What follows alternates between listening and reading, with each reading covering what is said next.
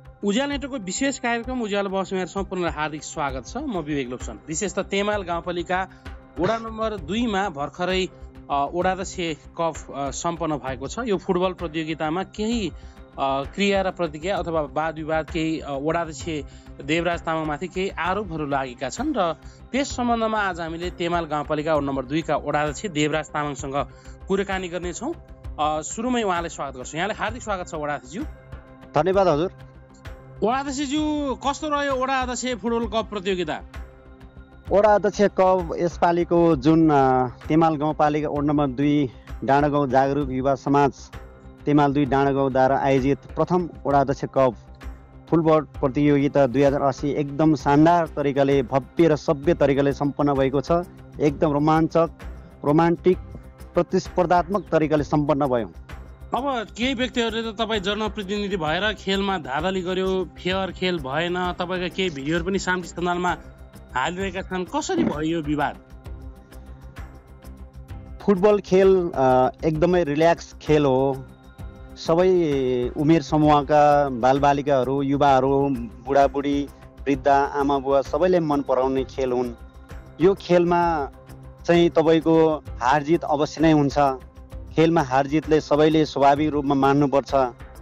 हारलाई जसले स्वाभाविक रूपमा आत्मसात गर्छ त्यो खेलाडीहरू अगाडि बढ्ने हो। तर हाम्रो जति पनि टिमहरू थियो त्यो टिमभित्रमा एक पक्ष जित्ने र एक पक्ष हार्ने भइसकेपछि अस्ति अस्ति नकआउट चरणबाट दोस्रो चरणमा प्रवेश भएको एउटा खेलको चाहिँ जुन खेल भइरहेको थियो राइजिङ स्टार नेपाल डाँडागाउँ तेमाल डाँडागाउँ र याङमेल युवा क्लब तेमाल पाँच बिचमा जुन खेल भए भएको थियो त्यो खेल उहाँहरूको समय अवधिमा सम्पन्न भएको थियो र सम्पन्न हुँदाखेरि दुवै टिमले दुई दुई गोल प्रहार हुँदाखेरि नियमअनुसार तपाईँको यो खेलमा चाहिँ ट्राई ब्रेकरमा जानुपर्ने स्थिति भयो अनि ट्राई ब्रेकरमा जाँदाखेरि याङमिल युवा क्लबले चाहिँ हार भयो उहाँहरू हारिसकेपछि उहाँहरू चाहिँ आक्रोशित भएर उहाँले चाहिँ त्यहाँ तथानाम गाली बेजेत गर्ने होइन त्यहाँ रेफ्रीलाई कराउने वडा अध्यक्षले मनपरी बोल्ने हरेक कुराहरू गरेर उहाँहरू उहाँहरूले चाहिँ हारलाई स्वीकार नसक्दा स्वीकार नगरेको कारणले गर्दा चाहिँ उहाँहरूले नै जुन एउटा हाम्रो आयोजक टिमलाई बदनाम गर्नको लागि उनीहरूको पूर्व प्लानिङ अनुसार अगाडि बढेको रहेछ। मलाई त थाहा थिएन। उहाँहरूले अब भिडियो कसरी बनाउनु पऱ्यो उहाँले नै मुख छाड्नु भएको छ। उहाँले नै भिडियो बनाउनु भएको छ। अनि त्यही कुरालाई नै वडा अध्यक्षले मुख छाड्यो भन्ने कुराकानी गरेको कुरा चाहिँ हिजो जुन हाम्रो चाहिँ काभ्रेको पत्रकार भन्ने मोतीरामको भिडियो मार्फत थाहा भए खासै हिजो हाम्रो हिजोको खेलको होइन त्यो अस्तिको खेलको हो फाइनल खेलको होइन अस्तिको खेलको हो यो खासै त्यस्तो सामान्य कुरा हो। सामान्य वाद विवादलाई चाहिँ ठुलो रूपमा चाहिँ वडा अध्यक्षको नाम जोडेर गरेको कुरालाई चाहिँ म घोर आपत्ति प्रकट गर्न चाहन्छु। अब तपाईँ जनप्रतिनिधि भएर खेलाडीहरूलाई झन् आकर्षित बनायो भन्ने आरोप रहेछ नि त। त्यो बिल्कुल होइन। त्यो हामीले सम्झाएको हो। खेलमा हारजित हुन्छ यस्तो गर्नु हुँदैन।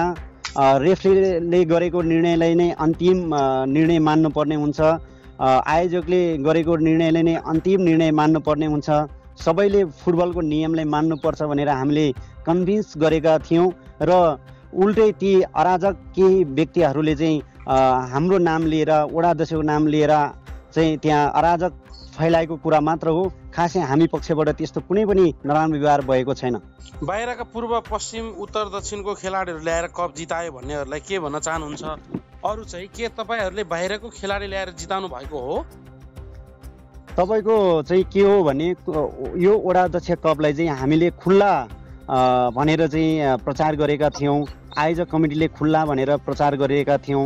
त्यसै क्रममा चाहिँ कुनै टोलले आफ्नो टोलको मात्रै खेलाडीहरू ल्याउनु भयो। कुनै क्लबले आफ्नो मात्रै गाउँठाउँको खेलाडीहरू ल्याउनु भयो।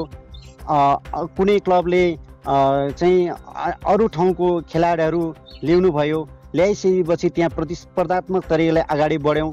कुनै टिमले तपाईँको कुनैले काठमाडौँदेखि ल्याउनु भएको छ खुल्ला भनिसकेपछि तपाईँको जुनसुकै ठाउँको खेलाडीहरू चाहिँ क्लबले ल्याउन सक्ने कुरा भयो क्लबमा आबद्ध हुने कुरा भयो आफ्नो क्लबमा आबद्ध भएका खेलाडीहरू ती खेलाडीहरू चाहिँ पूर्व पश्चिम जुनसुकै ठाउँको भए पनि ल्याउनु पाउने कुरा उहाँहरूको अधिकार कुरा हो। त्यो अधिकारभित्रकै प्रयोग गरेर चाहिँ क्लबहरूले चाहिँ त्यसरी खेलाडीहरू ल्याएको कुरा सत्य हो। अब कतिवटा क्लब समावेश भएको थियो उक्त प्रतियोगितामा? पहिलो दोस्रो र तेस्रो कुन कुन क्लब भयो अध्यक्षज्यू? यसपालिको प्रथम वडा अध्यक्ष कपमा बिसवटा टिम चाहिँ समावेश भएको थियो। जसमा लामखोर समाज तेमाल गाउँपालिका दुई प्रथम विजेता भएको छ। उपविजेता तेमाल छ ठुलो पर्सेल भएको छ भने तेस्रोमा चाहिँ राइजिङ स्टार डाँडागाउँ तेमाल दुई भएको छ। खास यो प्रतियोगिता राख्नको मुख्य उद्देश्य के थियो? ती उद्देश्य पुरा भयो कि भएन? एकदमै हामीले जे सोचेको थियो त्यो सोचेको भन्दा राम्रो तरिकाले शानदार तरिकाले चाहिँ यो प्रतियोगिता सम्पन्न भएको छ। यो प्रतियोगिता राख्नुको मुख्य उद्देश्य के हो भने स्थानीय लेभलमा भएका खेलाडीहरू स्थानीय लेभलमा भएका युवाहरू स्थानीय लेभलमा स्थापना भएका चाहिँ क्लबहरूलाई एउटा अगाडि बढाउन लागि हामीले उत्साहित प्रेरणाको लागि पनि प्रोत्साहनको लागि पनि हामीले यो आयोजन गरेका हौँ। किनभने जति पनि क्लबहरू छन् क्लबहरू चाहिँ त्यति सामाजिक कामहरू नगरिएको क्लबको उद्देश्यमा चाहिँ अगाडि नबढिरहेको अवस्था थियो। अब यो हाम्रो यो वडा अध्यक्ष क्लब राखिसकेपछि जति पनि क्लबहरू स्थानीय लेभलमा थियो दुई नम्बरकै कुराकानी गर्नु पर्दाखेरि दुई नम्बरबाट मात्रै पनि तपाईँको एघारवटा टिम दर्ता भएको दर्ता भएर चाहिँ खेलमा चाहिँ प्रतिस्पर्धा गरेको थियो भनेपछि यसले चाहिँ के भइदियो भने एक प्रोत्साहन प्रोत्साहित हुनको लागि क्लबहरू प्रोत्साहित हुनको लागि एउटा बाटो खुलेको छ र अर्को कुरा चाहिँ जति पनि खेलाडीहरू छ अनुशासन अनुशासित बनाउनको लागि चाहिँ हामीले यो खेलको आयोजना गरेका हौँ। र अर्को कुरा चाहिँ हामीले यो खेलबाट मानिसलाई चाहिँ समूहमा बसेर मिलेर काम गर्ने बानी सिकाउनको लागि र शारीरिक मानसिक र स्वास्थ्यको हिसाबले पनि राम्रो किसिमले चाहिँ होस् भन्ने तरिकाले हामीले यो आयोजना गरेको हो र खुल्ला गर्नु खुल्ला गेम पनि गर्नु कारण के हो भने स्थानीय लेभलमा भएका क्लबहरूको चाहिँ खेलाडीहरूमा त्यति चाहिँ फुटबल सम्बन्धी ज्ञान हुँदाहुँदै पनि हामीले खुल्ला गर्दाखेरि चाहिँ खुल्लाबाट चाहिँ आएको खेलाडीहरू अलिकति प्रख्यात खेलाडीहरू आयो भने कुनै कारणसँग दर्ता भएर चाहिँ खेल्न आयो भने ती खेलाडीहरूबाट पनि स्थानीय लेभलबाट मा भएका खेलाडीहरूले सिक्ने मौका पाउँछ शिक्षा लिने मौका पाउँछ भनेर नै हामीले यो खेलको आयोजना गरेको हो। यो खेलको आयोजना खेल आयोजनाले चाहिँ एकदमै भव्य सभ्य जुन फेसबुकतिर चाहिँ प्रचार भएको छ नकारात्मक तरिकाले त्यो तरिकाले होइन हाम्रो सभ्य र भव्य तरिकाले हाम्रो आयोजक कमिटी हाम्रो वडा कार्य समितिले जे सोचेको थियो त्योभन्दा शानदार तरिकाले चाहिँ सम्पन्न भएको कुरा म यहाँलाई जानकारी गर्न चाहन्छु। अब आउने दिनहरूमा यस्तो कार्यक्रमहरू वा अन्य कार्यक्रम आयोजना गर्ने योजना छ कि छैन अध्यक्षज्यू? फुटबल कार्यक्रम यसपालि प्रथम वडा अध्यक्ष कप भनेर चाहिँ हामीले सञ्चालन गऱ्यौँ यसमा म एकदमै खुसी छु। तेमालका जनता यहाँका वडावासी यहाँ वडामा रहेका प्रत्येक क्लबहरूले जति बिसवटा टिम दर्ता भएर खेल खेलेको थियो सबै टिमहरूले चाहिँ हामीले साथ र सपोर्ट दिनुभयो। यहाँका राजनीतिक दलहरूले यहाँका समाजसेवी बुद्धिजीवी युवा विद्यार्थी सबैले साथ र सहयोग गरेको छ। यसपालिको प्रथम वडा अध्यक्ष कप सोचेको भन्दा राम्रो तरिकाले चाहिँ सम्पन्न भएको छ। हाम्रो आगामी दिनमा अर्थात् आउँदो आर्थिक वर्षमा पनि यही सिजनमा हामीले दोस्रो वडा अध्यक्ष कप भनेर हामी सञ्चालन गर्नेछौँ।